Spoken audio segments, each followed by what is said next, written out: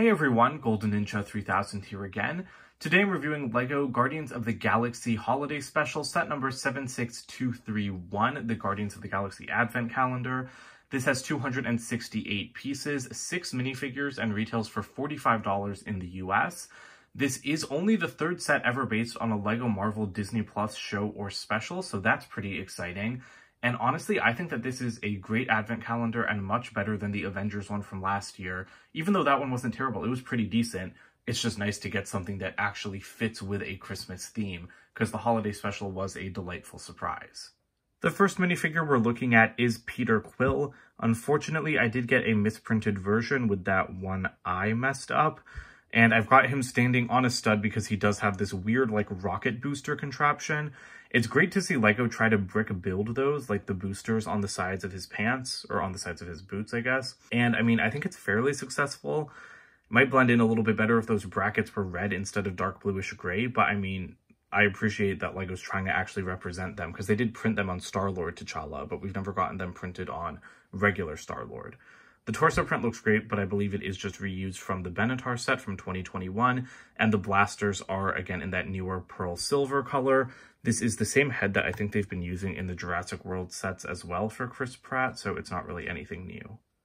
Also, I'm actually not sure Peter's head was misprinted. Maybe it was just a trick of the light.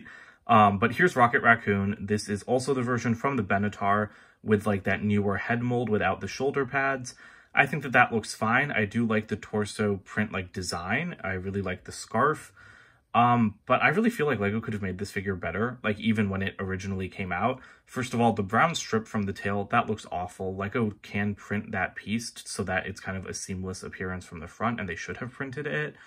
Also, like, while the change to brown from dark bluish gray is nice because it is more accurate, the color of the suit isn't. The color of the suit is a dark blue in the movie. So I don't know why LEGO went with gray when their dark blue would look perfectly fine for it. And then lastly, the scarf, like LEGO could have put an actual scarf mold. I don't think they would have had to make a new one, but they were making a new head mold for Rocket, so they could have just made the neck a tiny bit smaller to fit into the existing scarf mold. So it's still a good figure, I just think that it could be a lot better. Next up, we have Teen Groot. This is another figure returning from the Benatar. Fantastic, great torso and leg printing. Once again, they've also made the switch for Groot from uh, from reddish brown to this kind of dark tan color, which I think is very successful. Um, I mean, I think I think it definitely works. And he is holding a cell phone because he is a teenager now, so that's kind of cute. It's not accurate to the special though, because he's not, he doesn't look like this in the special. He now kind of looks like a like jacked up gym bro, I think because they're trying to pretend like he's in that kind of 20s college phase. I hate Groot's appearance in the holiday special and in Guardians of the Galaxy 3. I think it looks the worst out of anything so far, and I was not a huge fan of Teen Groot in the first place. I just miss adult Groot. I just wish we could get adult Groot back. And then finishing out the normal Guardians figures, we have Mantis, who looks excellent. Mantis is a great character. I think she really leveled up in the holiday special, and it was just nice to have something that actually focused on her and Drax instead of like, you know, some of the other Guardians who have gotten more screen time. So she's holding this little guitar, which I'm guessing is just a Christmas present. So you can just kind of like move that down to see her uh, torso print. Unfortunately, LEGO still doesn't have a good face print for her. She doesn't have pupils. Like, like this face print looks okay, but Mantis does not have white pupils in the movies except in Thor Love and Thunder because I think they forgot to black out her eyes. But in all of the Guardians movies, she has pure black eyes, and I think that LEGO should have a unique face print for her because of that. Drax is up next. This is one of the two exclusive minifigures, and I absolutely love his ugly Christmas sweater with dancing baby Groot. I think that that is just perfect. What I don't think is perfect is the new skin color for him. I have no idea why LEGO went over to sand green. Drax is not sand green. Drax is gray. He's green in the comics, but he's not green in the MCU. And it's not like a different interpretation of the camera light or anything. James Gunn has clearly said on Twitter that Drax is like a bluish gray because painting him green was just like too much effort or money or something like that. So I really don't agree with LEGO changing Drax's skin color to gray. And at this point, every single Guardian has gone through a skin color change except for Peter Quill and Gamora, although Gamora isn't in this advent calendar. And Mantis, I guess. But that's kind of weird to me. Like, it's not that hard to get the colors right. You know, like they finally fixed Rocket and Groot. They fixed Nebula in the Guardians 2 sets, but they made Drax worse. And I don't really get why. Like even sand blue would have worked better for Drax because he is kind of a bluish gray color, but he's definitely not greenish gray. So I really don't like this change at all. And then finally, we've got Nebula. I also love her ugly Christmas sweater with Thanos on it. Unfortunately, the torso is female specific, as you can see uh, just by like the printing on it and like the cutout. That's a little bit disappointing. I would have preferred like a gender neutral torso so you could put any Guardian like in this Thanos Christmas sweater. I love her face print though. It does have the kind of like orangey, goldish, like metallic stripe from Avengers Endgame. I don't remember if she even had that stripe still in the Guardians Holiday Special. I feel like she didn't, but I really like that LEGO made that piece so that we can have an Endgame accurate Nebula. Uh, and she is holding a little Christmas present that matches the colors of her sweater. This figure is also inaccurate though. Ooh, that's really nice back torso or back head printing as well, and nice back torso printing. With is that Gamora and Thanos together? That's kind of messed up because he killed her, but I mean it's cute. Um, but yeah, like Nebula didn't wear an ugly Christmas sweater. It was Mantis and Drax wearing them. So even though I really like this print, I feel like Lego should have put Mantis in the sweater instead of Nebula. Okay, so here are all of the kind of advent calendar builds. We're not going to go through them in any particular order. I think I'll try to group them like semi like together, you know, with holiday stuff and like micro builds together. Um, but yeah, I already, I just opened all the days at once. I didn't really get to do the day by day advent experience this year because I was like back and forth between Michigan and Canada. And then I'm going to like India, like the day after I'm filming this, like once this goes up, I'll already be there. So I just opened it all at once. So that's why like you're not getting kind of like a day by day opening, which I also think would just prolong the video. And the purpose of the video is just to show you guys, you know, like the awesome stuff that you get in this set. It's not really to show you the day by day opening, which I had tried in like 2019, I think I did, or 2020, I did that for Lego Harry Potter. And uh, I don't think people really liked the day by day openings. So anyway, so let's go ahead and jump into it because this has a lot of cool little builds. Okay, so we'll start with the little ship side builds. So this is the mining pod from the end of Guardians of the Galaxy Volume 2, uh, like the collect. it's one of the collectors that they use to get down into Ego. It's instantly recognizable. I think it works really well, and I like it. It's a cute little build. We've also got the mining pod from Nowhere from the first movie. This is the one that Rocket was in when he went outside and like Gamora and Quill were having, you know, like their moment in space. Um, and I think that this is like, th this is also a really good build because again, it's instantly recognizable. What's less recognizable to me is this. I'm not sure what this is supposed to be. Is it one of like the Sovereign's pods from Guardians 2? I'm not really 100% sure. Or is it is it this? No, this might be the escape pod from the back of the Benatar from Infinity War because of the sand blue. Maybe that's what it is. Maybe. So I, I think that's what it's supposed to be. Then I think that this is Rocket's Warbird from Guardians 1. I'm not 100% sure on that also. Like, it could be Taserface's ship from Guardians 2. But I think it's supposed to be Rockets, like the one that was the San Diego Comic-Con exclusive. And I did really like this build. You've got the cannons at the front. You've got some really cool-looking engines at the back and I think that it's just a nice design. And then, of course, we do have the two main Guardian ships, although not the one for Guardians 3. This is the Milano. I still miss the Milano. I think it's like my favorite spaceship design ever. It's one of my favorite Lego sets ever, like the original big one from 2014. And I'm still waiting for a UCS version. Again, instantly recognizable. I really love all of the metallic or like flat silver teeth pieces to create that kind of feathered appearance. And I also like that they used a transparent toothpiece for the cockpit. I think that this is, you know, like a really successful little build and you can actually like move it and you can adjust all of those feathered pieces as well. And then we've got the Benatar, which I don't think looks as good just because it's it's much blockier and squarer and it's just not as like kind of refined as the Milano and some of the other ones. Um, it's also a lot more studded, which is fine, but like it is kind of just nice to see something that's properly like smoothed over. So yeah, it just feels like a little bit more incomplete to me, but you can still tell what it is, especially because of that orange color. And you can like kind of move the engine pods in and out. Although if this is the escape pod, unfortunately, there's, I think it is the escape pod. There's no way to like attach it here or anything. And that could have been something that would have made this mini build like a little bit cooler. And then as for regular kind of accessories, you do have uh, the guitar that Mantis was holding. You do get the Power Stone, which is great because it played a huge role in the first Guardians movie. I did not pop any of them out of this like sprue though, because I'm going to keep this brand new. I have a lot of Power Stones out already. Um, but they came with Drax, who's holding a fork and a spoon, so I don't know if he's trying to eat the Power Stone, but that does not seem like a good Christmas snack to me. Then we've got, this was a whole day in the advent calendar. I don't really get this. So this, I think, is clearly a table for the, for like the, the roast turkey, um, which is awesome. Love getting this piece. But like, I don't know what I'm supposed to do with the fire. Like, is this just supposed to be like, oh my God, like the place is on fire? Like, I don't really, I don't really get what I'm supposed to do with that. Um, but hey, it's, it's a nice little accessory. Or maybe I'm supposed to attach it to like this gun that came in another day. Like, okay, maybe that's it. Maybe it's supposed to pretend like you're like roasting the turkey. This gun is huge. It's a very elaborate build. It was an entire day to itself, although, again, the fire is something I just tacked on, although I think that that looks right. Um, I have no idea what this is supposed to be, because in my opinion, like, the gun should be held like this, right? Like, this looks like the end of the gun, and this looks like a shoulder rest. But this thing is kind of going the other direction, like the handle, at least the way that Lego shows it being built. So if you were to put it on Rocket this way, like it doesn't it doesn't look right. Like the angle isn't right. So i guess i mean i could just kind of like swap the ends and then maybe that would work. But i mean the instructions for advent calendars can be a little bit confusing just because you know they are so limited. But i mean i guess i guess that works a little bit better.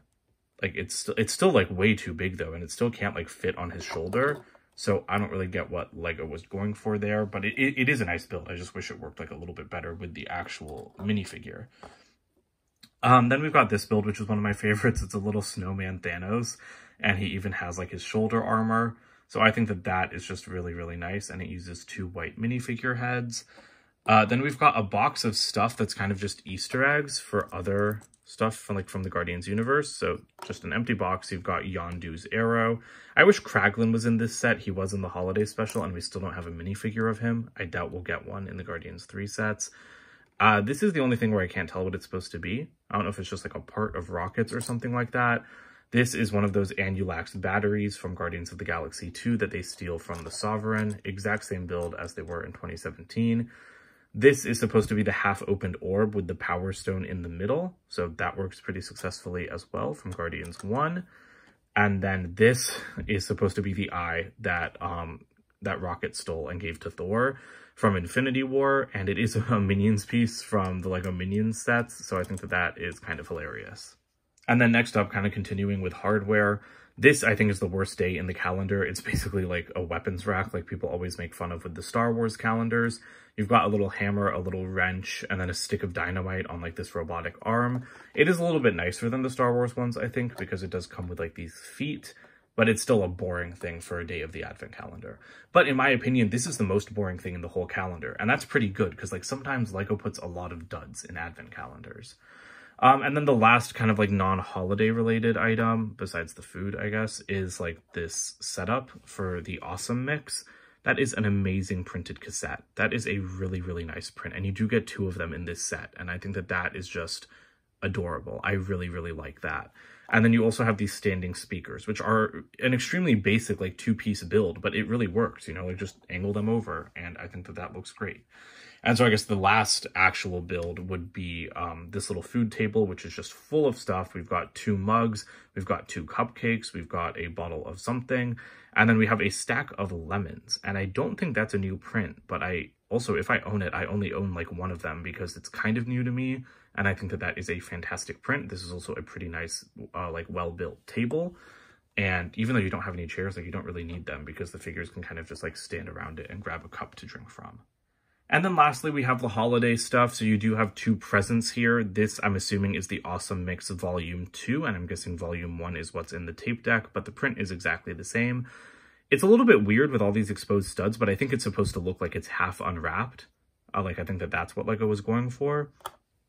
And then in this wrapped present, you've got a pair of headphones, or like earmuffs, with a one-by-one tile. I don't know what the one-by-one -one tile is about, but the headphones are pretty nice, especially, you know, that's a great gift for someone like Peter Quill. So I'll definitely be putting those around his neck. Um, and then you've got this little, like, kind of half-hearted Christmas tree decoration. I d I didn't really need a whole Christmas tree in this set, but this is a little bit pathetic in my opinion, because it's just like, I mean, I guess it's so small so that you can pretend it's growing out of Groot. Okay. Oh, yeah, sorry. That's what the thing on his back is for. Okay, never mind. That makes more sense. Because I was like, why is this so sad and pathetic? But no. You can put that on his back, and then Groot can be your Christmas tree. So that is kind of adorable. I do like that a lot. Um, and I and I like advent calendars like this, where like the days kind of go together a little bit. Um, but yeah, that that works really well. So I love that. I love that so much because that is what they did in the holiday special. They did make Groot their Christmas tree, as we saw in the end credits scene. Then we've got this singular candy cane, which is a decoration that Mantis uh, had stolen from Kevin Bacon's house in the special. Uh, she ended up leaving it on Earth because she gave it to the cops, but um, but I mean, it's a nice build. I think it looks fantastic. And then lastly, this thing took up like three days, but I am not complaining. It is a super powered sleigh with a wonderful color scheme. I love the teal, the white, and the red. We've got a sack of gifts in the back. We've got powerful rocket boosters and a steering wheel. You can even detach this. So the three days were like, so you got like the main body in one day, then you got the two wings in a second day, and then you got the kind of like back like attachment in a third day. And I think it was days like 20, 21, or it was it was 21, 22, and 23. And then Drax was day 24. So I think that that's kind of fantastic. And I really like getting a build this sizable in an advent calendar. And I'm not upset that it took three days to get it. I feel like they could have done like, I feel like they could have made it two days instead of three. But I mean, it's such, it's such a nice build and it works so perfectly that like, I don't, I don't care. It's not like I feel cheated, you know, it's not like I feel like I didn't get enough stuff in this advent calendar. Although we will talk about value closer to the end. So as you can see, you can set up a pretty nice scene on this mat, and this mat is supposed to look like the interior of, I guess, their new headquarters in Nowhere. So I'm actually just gonna move all of this stuff off so that you guys can just see the packaging for a second. Um, it's got a nice print, I mean, and then you've got all of the like doorways, which I think are a really nice design. If you don't know how advent calendars work, you just open a day and then as the instructions for that specific day on the inside of the door. And you can, I think, just rip those clean off to make it easier to kind of build. And then the box is interesting because like the mat folds down. So this is what the back of the box looks like. And then the front of the box just kind of has the standard advent calendar uh, appearance. And yeah, it shows Groot being the Christmas tree. So I should have I should have realized that. Oh, and there. Oh, okay. Maybe I built this wrong. That's why. I built the gun wrong. That's why Rocket couldn't hold it because I put that piece on the handlebar. So let me fix that. You do have a decent amount of extra pieces in this set and you could totally build like another one or two Christmas gifts out of just the extras if you wanted to. With everything set up together, you can make a really nice little Christmas scene and I, I just, I really like this calendar. I thought that the holiday special was a great little break from the rest of the MCU with a lot of, you know, spirit. And, and I think that this Lego set really captures that. Or, I mean, yeah, this is a Lego set, even though it's a little bit of a weird one because it's an advent calendar. I like that Lego didn't waste too many slots on mini builds. I like mini builds in advent calendars, and we do have, what, one, two, three, four, five, six here, but they only take up five days of the calendar, so that's like a little bit more than a fifth.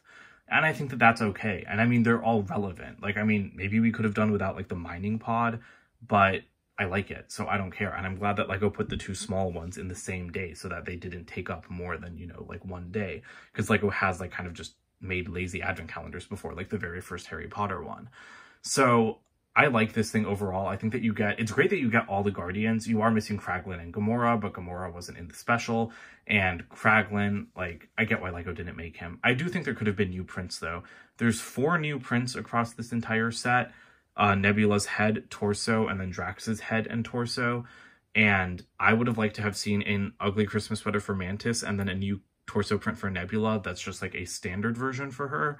So that would have been like one more new print. I feel like LEGO could have done that because this costs $45. And yes, advent calendars don't have the best price per part ratio, but this is not worth $45, even with six minifigures. It's great to get them, don't get me wrong, because so many of these are only available in a $150 set, but it's not worth $45. Like, like look at what you get. You just get a bunch of little, you get a bunch of little junk, to be honest. And it's really nice junk, and I love the junk. I love it so much. But it's not worth $45. Like imagine what you could buy from Lego for 45 bucks even in 2022. You can get a lot more value for money elsewhere. But this advent calendar has been on sale for 20 to 30% off for like a month now. That's why I waited so long to get it. I always buy my advent calendars like at the end of November because they're usually on sale. So you can get it on lego.com right now for like $31. So that I think is a good price and that I would recommend getting it at. But yeah, if you're a Guardians fan or a Christmas fan or just a Marvel fan in general, I think that you're really going to like this calendar. And I'm very impressed by it after I thought the Avengers one last year was just okay. So let me know what you guys think about this calendar in the comments down below. Don't forget to like and subscribe as well. And check out my website, goldenninja3000.com. I'll see you guys in more videos soon. Bye for now.